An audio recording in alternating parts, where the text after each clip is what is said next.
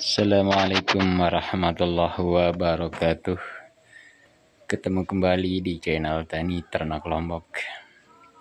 Kita masih di seputaran budidaya belut ya teman-teman. Semoga teman-teman hari ini tetap dalam keadaan sehat walafiat Beserta keluarga amin ya rabbal alamin. Kebetulan kita hari ini lagi memilih menyortir bibit belut ya teman-teman Hari ini ada pesanan 10 kg antar ke Kota Raja, Lombok Timur. Ya kita harus pilih supaya tidak terlalu besar. Kita pilih yang ukuran rokok ya teman-teman. Ya seperti ini proses pemilihan kita ya teman-teman. Nah, ini yang sudah kita pilih ya teman-teman mungkin kelihatan besar tapi ini tidak besar ya teman-teman. Ini sebesar rokok malah lebih kecil dari rokok. Soalnya ukuran penyaringan kita itu lebih kecil dari dari rokok. Ya teman-teman. Nah ini udah dipilih udah disaring. Yang besar kita tidak bawa. Ini hasilnya pemilihannya teman-teman.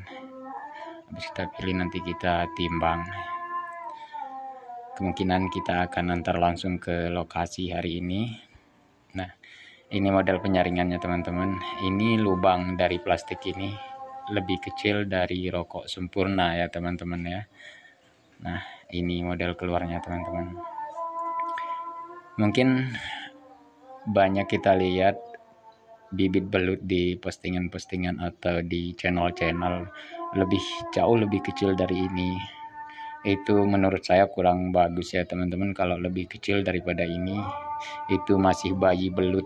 Itu susah sekali untuk besar di kolam pembesaran. Soalnya kalau bayi belut itu kita bawa ke lokasi baru atau media baru akan sulit untuk berkembang.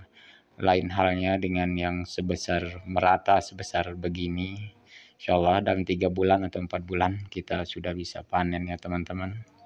Kalau terlalu kecil sebesar biji korek api kayu itu itu sulit sekali untuk besar ya teman-teman. Itu belum bisa beradaptasi dengan media barunya. Begitu. Makanya lebih baik menurut saya pribadi lebih baik kita tebar bibit sebesar batang rokok sempurna Nah, seperti ini teman-teman penyaringannya. Ini berarti kalau lebih besar dari rokok dia tidak akan keluar dari penyutirannya begitu. Nah, supaya kita lebih teliti. Nah, teman-teman para pembudidaya, para peternak belut. Nah, coba saya tes dulu ya pakai rokok. Nah, ini rokok saya tidak bisa masuk ya teman-teman kalau udah bibit sebagus gini tinggal kita yang sebagai peternak bagaimana caranya supaya kita bisa berhasil teman-teman. Soalnya seperti yang saya selalu bilang kebanyakan peternak belut ini kebanyakan yang ya begitulah. Teman-teman kita itu memilih mau beli bibit itu jangan terlalu masih bayi gitu Nah, kita timbang dulu ya teman-teman. Kebetulan pesanannya 10 kg. Insya Allah kita akan langsung luncuran antar hari ini. Kita timbang dulu. Supaya pas takarannya teman-teman. Nah, sebesar itu teman-teman kan enggak terlalu besar. Mungkin kalau saya shot dekat mungkin kelihatan besar tapi enggak teman-teman. Bibitnya juga begitu sehat belum cukup 10, 10 kg kita tambah lagi ya teman-teman ya.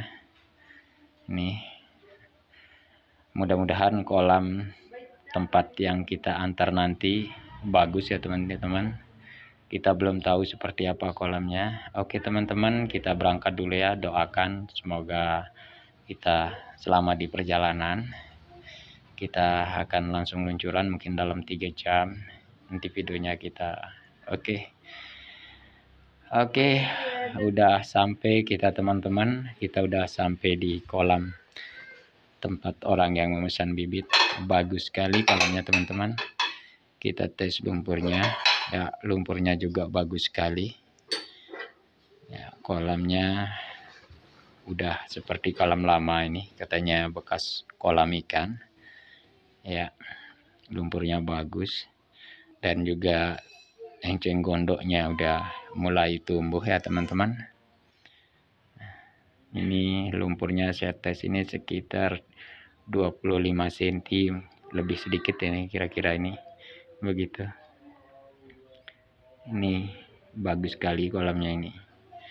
Mungkin tapi ada satu hal ini yang kurang memungkinkan yaitu airnya masih kelihatan merah. Ini air jeraminya ini. Jeraminya masih baru kelihatannya ini itulah kesalahan peternak belut ini ya teman-teman.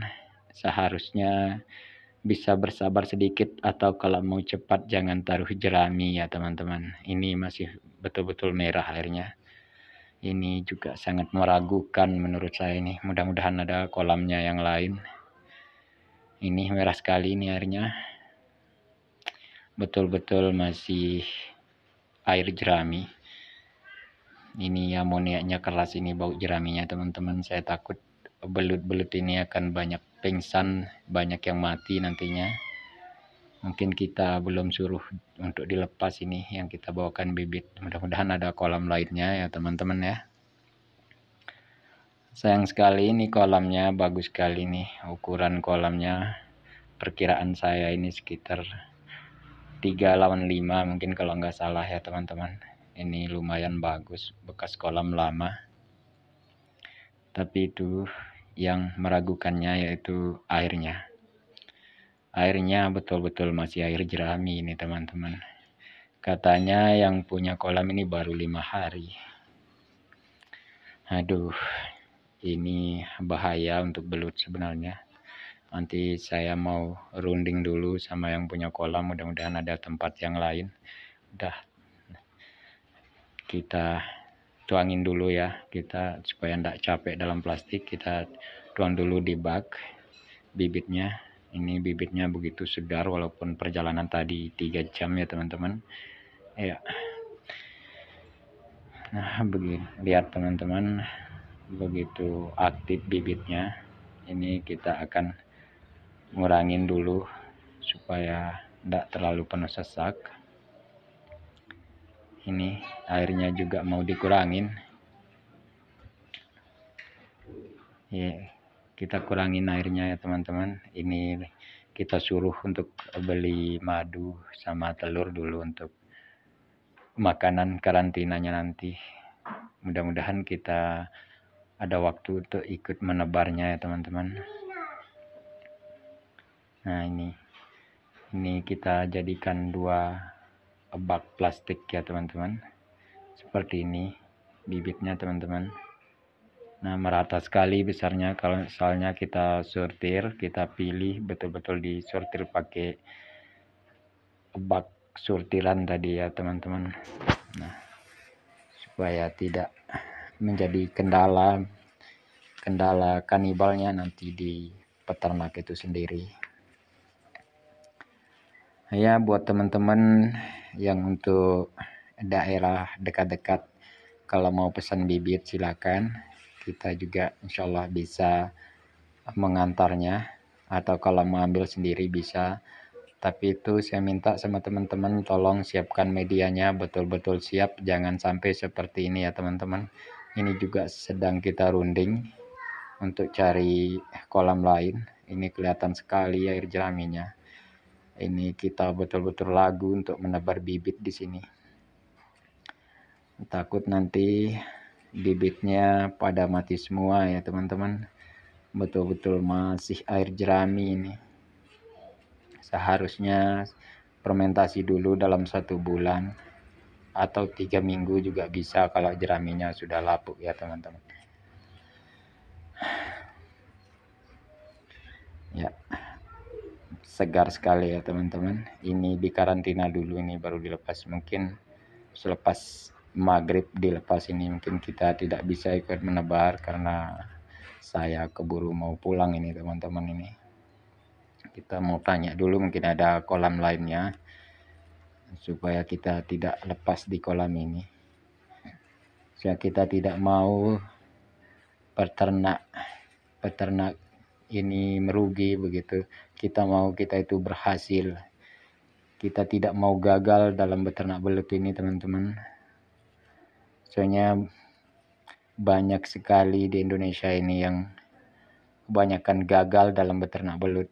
Kita harus betul-betul belajar harus tahu bagaimana kemauan belut itu sendiri. Jangan sampai kita buru-buru untuk melepas media belum jadi belum siap kita nah ini kita udah ditunjuk kolam baru. Nah ini baru bagus juga teman-teman. Tapi tumbuh-tumbuhannya belum ada tapi saya lihat lumpurnya bagus sekali airnya jernih. Ya ini tidak usah ditaruh jerami nih bagus sekali ini udah lumpur udah lama katanya. Ini harus diratakan dulu lumpurnya baru ditebar bibitnya begitu. Ya udah ya kita harus lepas di sini tidak bisa di kolam yang tadi. Ini harus diratakan dulu lumpurnya taruhkan enceng gondok atau kangkung atau apa pun sebagai pelindung untuk sementara begitu.